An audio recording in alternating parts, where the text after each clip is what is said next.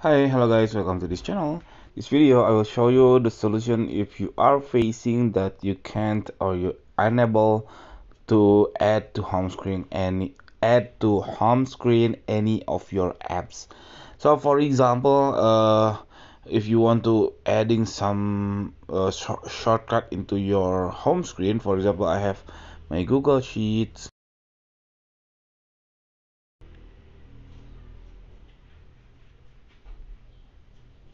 then for example I want to make it this uh, file to add to home screen.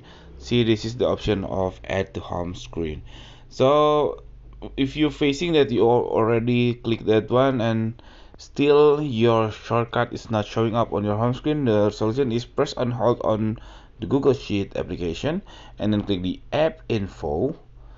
And then you have to give permission to this app into add to home screen. So click this other permissions and then here you can see you have to make sure this is the green check. Home screen shortcuts.